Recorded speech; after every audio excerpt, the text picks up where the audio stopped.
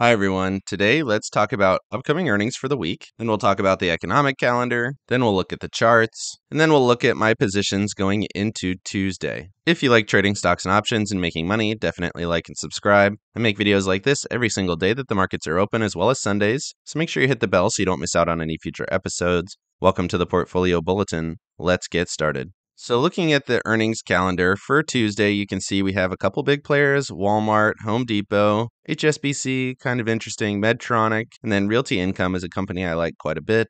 Looking at Tuesday, we have Nvidia. That's a big one, obviously. It's been holding flat in that region where it's been for quite a while, probably waiting for earnings. We also have Southern Copper Company. Looks like they already announced earnings early. That's interesting. Good to see copper continuing to do well. For Thursday, we do have Baba, always a big company. Intuit, pretty interesting. Autodesk, a couple of interesting companies here on Thursday. And then for Friday, nothing really big on the calendar. Dell, maybe. Moving over to the economic calendar, we have Flash Services PMI, Interesting to see how services continue to do well. Manufacturing PMI, good economic indicator, but the big one here is Wednesday. So we get the FOMC minutes for the 1 February meeting on Wednesday. I would expect to see a lot of hawkish talk based on what the Fed governors were saying here recently, talking about potentially higher interest rate hikes, talking about 50 basis points, potentially talking about a higher terminal rate. I would expect Wednesday to be pretty bearish, so keep an eye on that. Might get a rally into Tuesday, like we talked about on the Friday video. And then we start getting a little bit more hawkish talk on Wednesday to push the markets down. Just a thesis worth paying attention to. And then we have GDP revision for Q4. And then we have another Fed president coming out and talking, probably saying hawkish things on Thursday. And then on Friday, we got another big one. We have the PCE index, core PCE, core PCE year over year. And then we have new home sales as well as consumer sentiment. So, pretty big week in terms of economic news, actually. But like I said, the big one's going to be that FOMC minutes on Wednesday. Moving over to options here, you can see quite a lot of puts in the system still. Put ratio is at 1.18 for Tuesday, but bigger calls here at 410. So 410, 415 for calls. Max pain is at 411, so you would expect the market to go a little bit higher on Tuesday, like we talked about on the Friday video. Still lots of puts in here at 408, 405, and 400. Overall, not a lot of options here for Tuesday, only 300,000, but still a decent amount. Again, drifting towards that 411 number is what I would expect. You can see options currently in the market 405 and 406, but we're expecting it to drift towards that 411 max pain area. You can see what that looks like, just so many more puts here in the system compared to calls. And once again, looking to drift towards 411 total. Maybe not exactly on the spot, but we're currently at 407.38. So that's a couple of dollars of upside here potentially for Tuesday. And then looking at the Friday expiration here, you can see almost a million options in the market. Max Pain still at 410, so still looking at a couple of points of upside even throughout the week here. You can see how many more puts are in the market. Put call ratio super high here at 2.76. 2.77 almost here for Friday. Tons and tons of puts in the market. And this is why I think even if we move down here in the short term, you have to expect that it's going to be met with buyers. There's just so much bearish sentiment. This is a huge ratio here for Friday. Obviously, it's early in the week and this could totally shift, but these are big numbers here at 395, 400, 405, even here at 410, 411. So people are definitely trading puts, and then you have a big 418 call here, probably not going to get above that level for a Friday close. So keep that in mind if we do get a rally. You can see some big numbers still here at 400 and 405 on puts. Some decent 405 calls though, so that's interesting. And then you can see that max pain here once again, big slope here on the put side and more gentler slope here on the calls just based on that put call ratio. Moving over to the charts, starting with the S&P 500 on the monthly view, you can see the month is basically flat. We are above that major trend support, but we did get rejection here at the 21 EMA. We're basically stuck in here, going sideways. RSI on the monthly is ticking up slightly. Momentum is slightly bullish here, continuing to tick in the bullish direction after this significant downtrend that we had. Going over to the weekly view, though, you can see we've been testing this previous resistance getting multiple rejections at this level. We also have gap resistance that we touched on the last week of January, first week of February. Gap resistance, multiple trend touches does look weak. But again, we still have multiple levels of support. We're still above the 9 EMA here on the weekly, which is much stronger on the weekly chart. 55 EMA continuing to hold as support as we retest that level. You would expect a little bit of bearishness on the week. Maybe we come back down and retest this 3900, 4000 level, and then you would expect a bounce from there, which is just a couple of lower than we are right now. And as we step down to the daily chart, you can see we did get rejection. Big wick finished higher than the open of day, but it was a gap down. So this does look slightly bullish. You would expect a move higher on Tuesday. We talked about that in the Friday video. Overall, though, momentum is moving in the bearish direction. It's not super clean like we had here, where we had a significant move into bearish momentum and then a significant move into bullish momentum. We did have a couple of days here of flat momentum in this consolidative period. Last time we had that, it was a change in direction. You can see going back to October. But right now, it does look like we're getting a bounce into Tuesday, and then you would expect that to fail into Wednesday, Thursday, Friday, at least in my opinion. Moving over to the Nasdaq, similar thesis here, but we are getting rejection actually from the 55 week moving average. It's not acting as support the same way that it is on the S&Ps. So every time we get into the zone, into that 12,400 level, we continue to get rejection, which is interesting. We are at this trend line though, which continues to act as support. We've tested it twice at this point, and we continue to get bounces from that level. Overall, it does look pretty bearish coming off of the 55, but right now we're trapped in this zone, waiting for a break one way or the other. You can also see we have this shorter term trend line, which is fairly strong that we tested on that last week of January, first week of February, getting that first major rejection. And since then, we've had consistently lower highs on each of the next candles, overall looking weaker going into the next week. You can see here we have not gotten a step down on weekly momentum quite yet.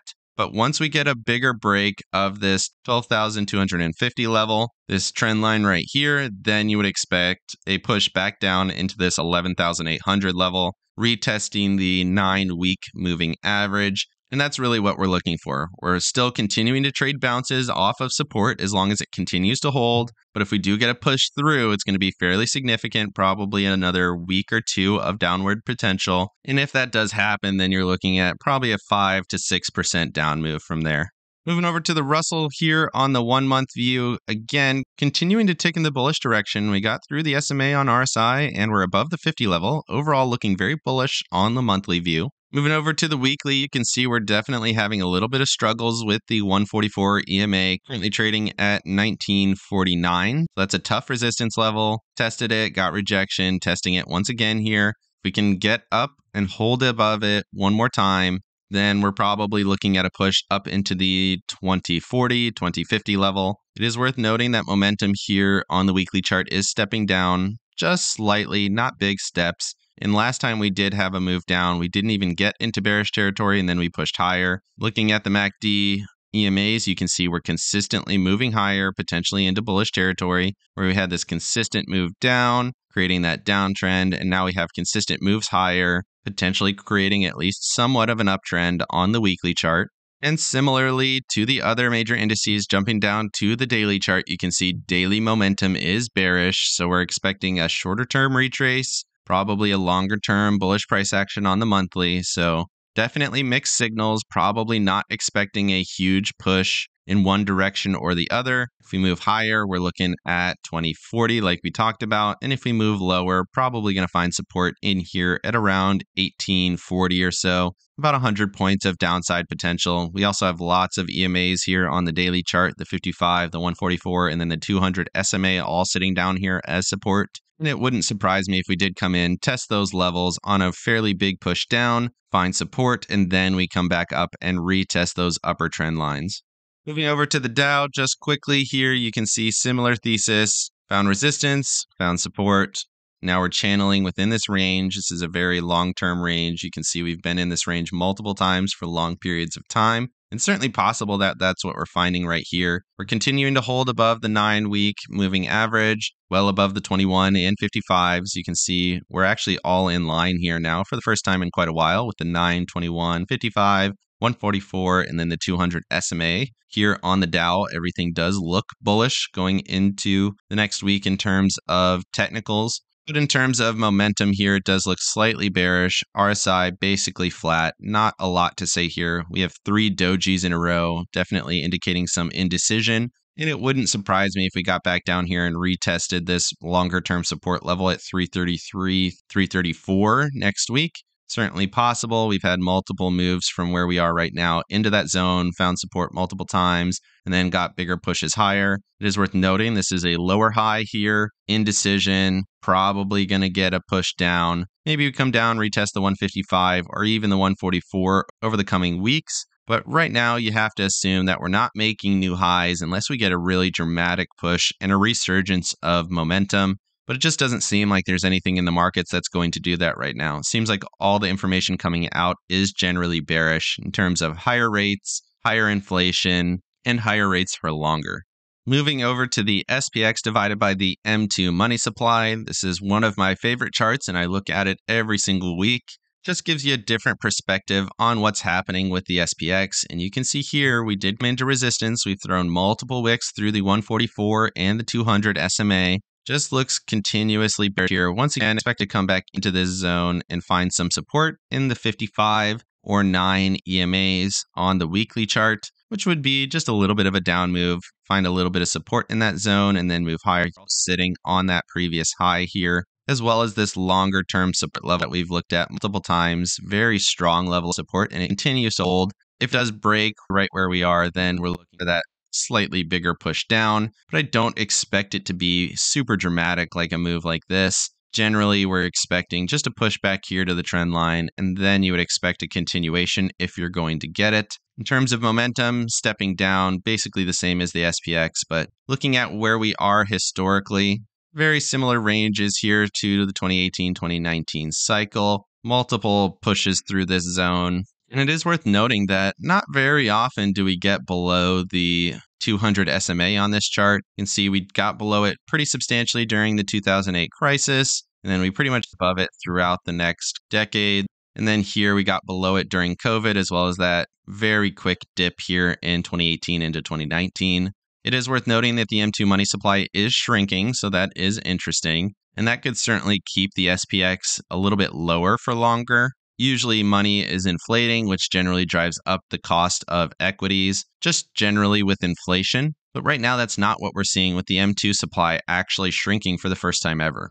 Moving over to the NASDAQ divided by the SPY, this is always an interesting driver of growth. Basically, we're still stuck in this channel here. You can see we continue to find resistance at the trend line. Got a pretty strong rejection here, generally indicating that this is a strong reversal of conditions. Came up, closed above it, threw that big wick and closed much lower. Got a candle of indecision, which does potentially illustrate that we could get a nice little bounce into Tuesday and then get that bigger rejection down to the trend line down here at around 301. Still watching that big 30 level as the stronger level of support.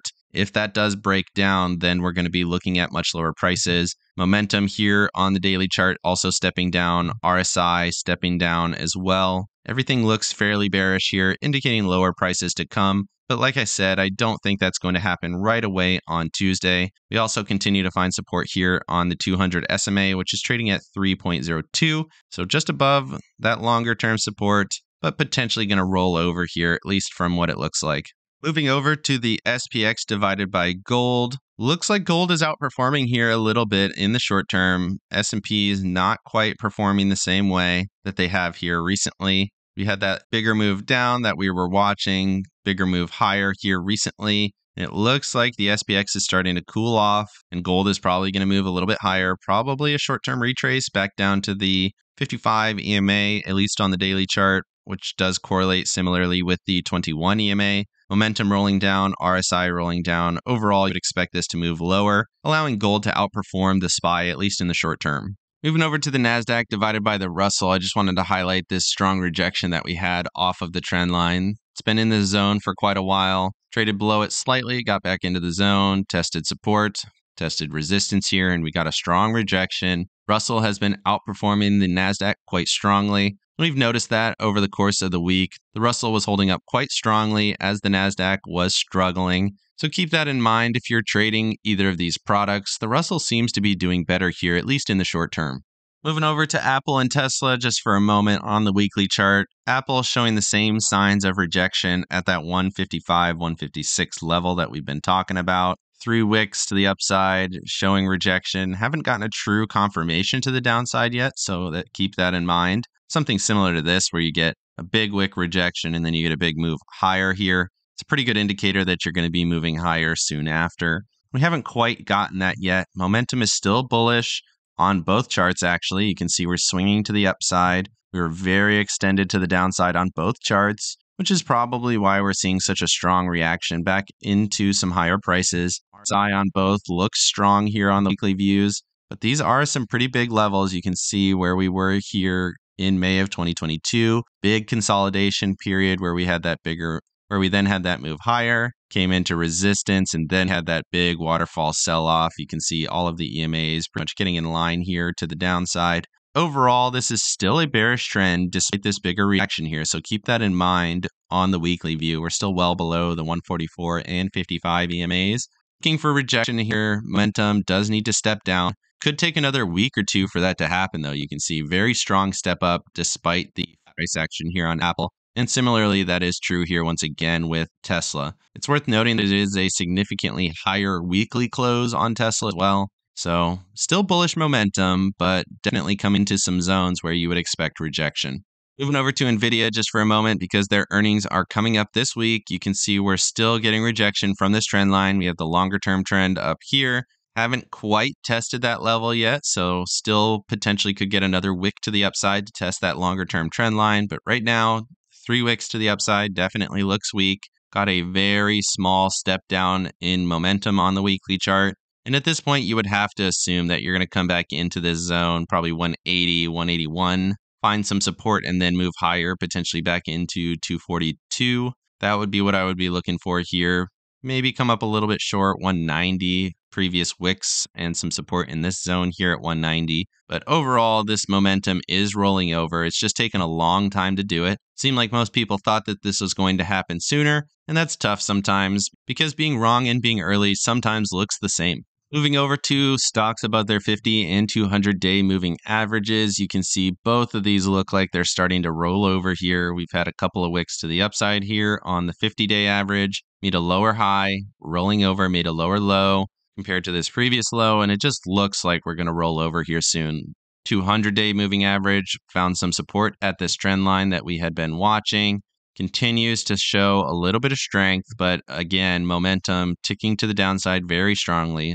Hasn't broken the 50 level on RSI yet, so that would be a nice bearish development if that did happen. But right now, it does look like a high, a lower high, and that we're gaining momentum here to the downside. Moving over to yields, it would not surprise me if these did continue to roll over here from Friday, at least a little bit lower. And then we get the Fed comments on Wednesday, giving us a nice little push to the upside of hawkishness. That would be what I would be looking for here on yields. You can see lots of wicks here on the two year. Looks like we're going to come down and at least retest 450. That's what I would be looking for there. Momentum ticking down as well. RSI moving lower here. Similarly, on the 10 year, big wick, big rejection candle. You would expect this to continue down over the next day or two, at least into that FOMC minutes, where if they say some hawkish things, obviously that's going to push yields higher, at least in my opinion. You can see we got back to this previous high going back to the end of December, at least on the 10 year. Tested that level, got that big wick rejection.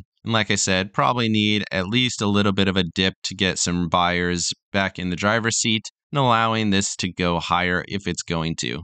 Finishing up here with the chart, looking at the dollar, do want to highlight this very strong rejection that we had here on the dollar. So we were watching this ascending triangle, which is a bearish trend. You can see here, this candle on Friday looks extremely bearish. We threw a wick through resistance, got very strong rejection, closing at the open of the previous day, fully engulfing. Looks like a very strong rejection candle on the daily chart. Once again, giving you a potential for some bullish price action on Tuesday. But it is worth noting that momentum on the weekly chart is still ticking in the bullish direction. So if we do get a shorter term retrace, I would still expect in the medium term that the dollar is going to go a little bit higher, probably up to this 105.50 level, maybe 107, somewhere in this zone. Definitely expecting some higher prices on the dollar as yields continue to rise. But right now, you have to respect this big candle at big resistance. You can see this is an important level going back to the highs basically throughout December, multiple tests of this level continuing to get rejection. And once again, here getting strong rejection, and you have to respect that. Moving over to my positions, you can see I am slightly bullish. I sold a put spread here on the IWM, just a slightly bullish position, giving myself a little bit of cushion down to 192. And then for the Qs, I do have two covered calls here, trying to collect quite a bit of credit here. And then I have two puts down at 300 as well. So I do think we're going to rally a little bit, but I'm still fairly protected. You can see my break even here is down at 289.70 for the puts, and then break even here on the calls. Collected a dollar fifty on that, so down about 20 bucks on my actual share position. So I have about another dollar 30 before I start losing any money on this share position to the downside. Basically at that 300 level, expecting that 300 is going to hold on Monday that will get a little bit of bullish price action. If there's any charts you would like me to go over, make sure you put those down in the comments. Make sure you like and subscribe if you got any value out of this video. I make it every single day that the markets are open as well as Sundays, so make sure you hit the bell so you don't miss out on any future episodes. Of course, none of this is financial advice. This is all for entertainment purposes. Good luck in your trading and have a great day.